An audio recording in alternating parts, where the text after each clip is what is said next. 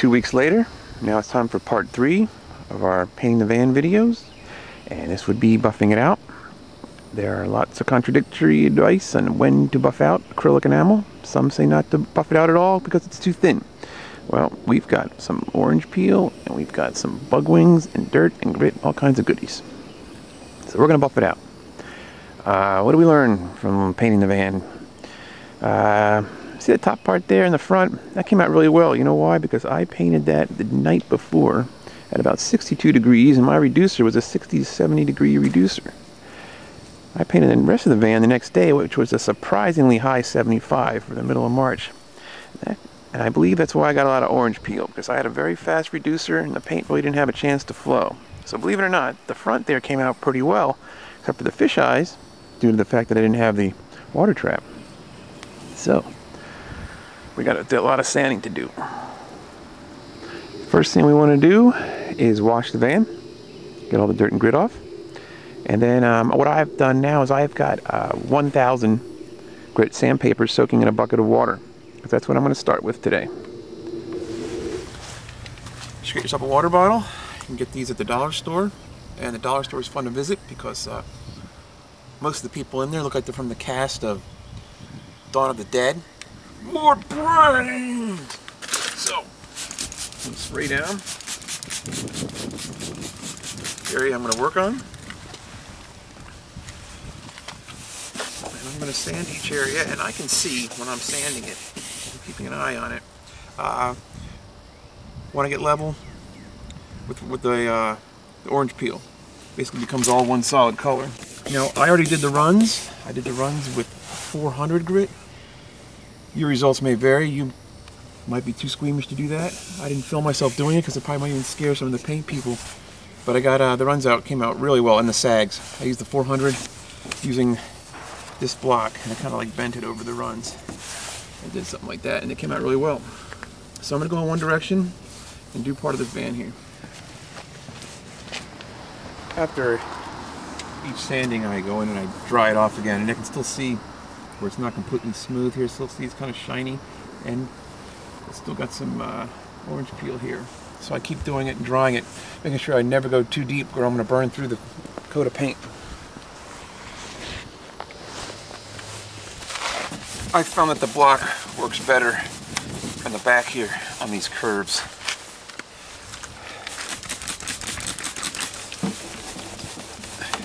This is really messy. This would be great to do with all the stuff still taken off the van and the van still taped up. So if you can do that, so if you use a urethane enamel or something like that, that's probably what you want to do.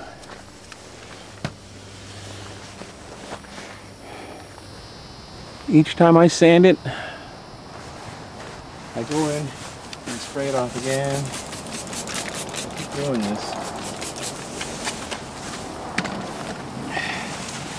And wiping the whole thing down again.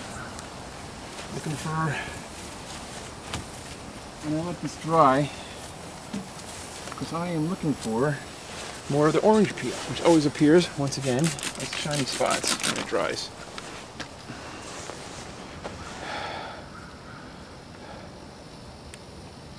still some wet spots and some spots there in the creases and some parts I'm just not going to sand because I don't know if I can get in there with the buffer. So we'll find out about that later. But we got it pretty smooth. So I'm going to switch to the 2000 grit sandpaper now.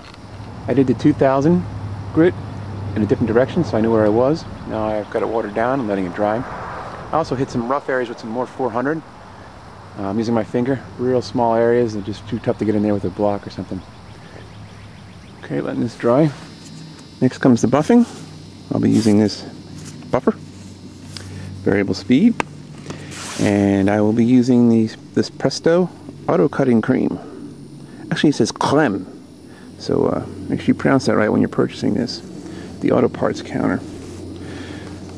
Okay, let's put a little uh, of the Clem under the car.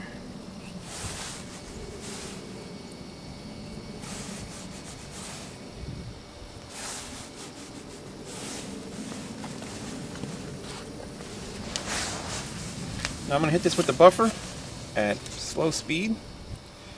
Trying to get the compound to fly all over the place. And then I'm gonna, I gotta keep moving the buffer at all times. I'm gonna try not to hit any ridges. Right there with the dead on, because that'll burn right through real quick. So, uh, see what happens.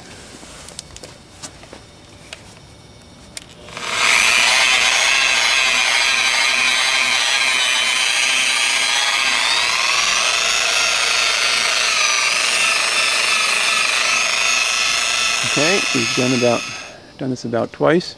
Still got a little more to do, it's starting to shine up and really shows the bodywork. Any imperfection in the paint will now be seen perfectly. I don't like to admit to my mistakes, but here's one of them. Using one of these pads to buff with. Now, it's alright to buff with one of these things on a flat surface, but when you get into up in here and stuff, these just don't work. Plus, uh, the rubber disc behind here can get caught and it can just tear and burn if you bump into something. Ask me how I know. What I should have been using, especially on the Vanagon, is a curved buffer pad like this. Uh, this is a new one. I had one yesterday. It's still wet, so I had to get another one. And uh, these are fantastic. And you'll notice there's no sharp edges to do any burning. Now you can still burn through, but this has been uh, much better. And also, you got to run the buffer really fast to get a good shine. So let's try this again. All right, let's apply some more compound.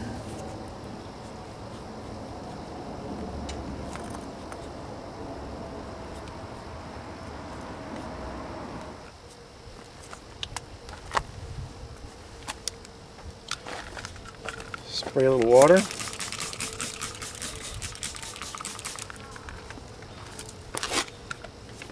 Start off on a slow speed.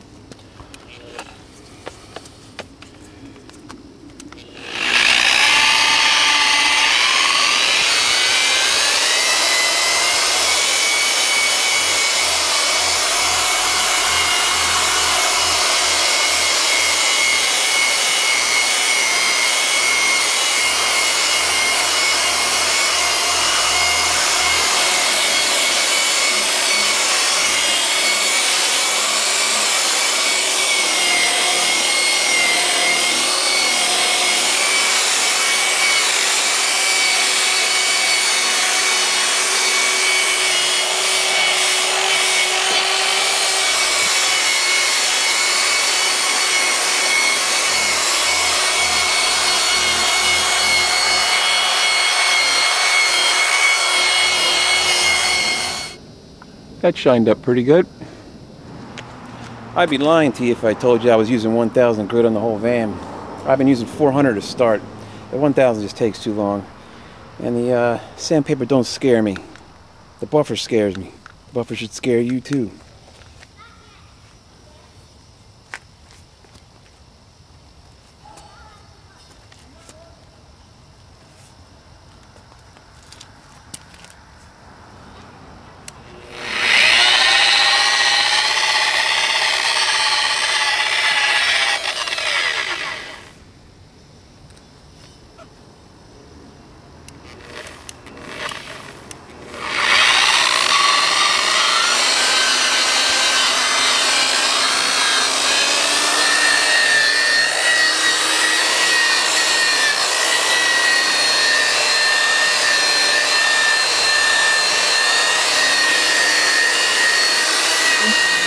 Buffing's done. That took a long time. I'll tell you what I ended up using though, was this tougher buffer. Very long strands. This was fantastic for the Vanagon because it really gets deep to a lot of the curves we have there. Alright, let's move on to polishing. I'll be using the same brand glaze, the Aurora hand glaze. That's our next step going to apply that. We're going to use this extremely expensive 3M foam pad, but this is what they recommend. So let's start off with that.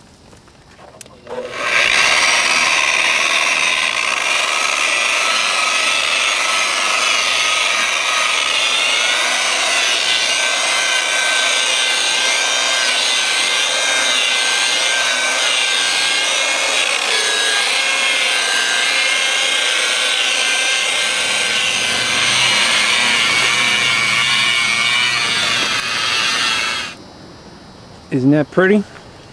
I thought it came out pretty well. I'm happy with the results. That buffing took a long time. I've been at it since last Saturday and today is Friday. It's a lot of work, but um, doing it for myself. I'm also doing it for the fact that I go to a lot of VW campouts. There's going to be a lot of people coming over to inspect it and saying, you know, if you'd use a Langstrom 7-inch gangly sprayer on that thing, you know, with a 4.0 aperture setting, you probably would have got a lot less runs. So I'll be dealing with that too. So I made about every textbook mistake you can make. They say after you've painted about 10 vans, you'll get it right. I figured I could do it in after four or five more vans because I made some mistakes on this one. Uh, probably the biggest one, unless I mentioned biggest ones earlier, uh, some areas the paint was too thin. I think around the corners and the back, I was just kind of paranoid when I was painting, like, should I do that when I do the back or should I do that when I do the side? So, first swipe of the sandpaper right through to the primer and some of the, right on the tips in the back. Other than that, and one on the A-pillar here, near the top. Other than that, it looks good. The runs came out really well. There's no runs left. To apologize for the unevenness of this film because this camera keeps acting up. I dropped it when I made the replacing the front heater core video and this camera barely functions and I'm getting a lot of overexposure right now. Well that's about it. I'm done with this van in terms of painting and polishing for now. A couple months I'll put some wax on it. Uh, I think it turned out pretty well. I'm happy with the results uh, for what I paid. So, see how this holds up. I'm sure some of the rust will be back no matter what I do because this van lives outside and it's also a half daily driver. All right. Uh, now just remember, just because you saw it on the internet doesn't mean it's true.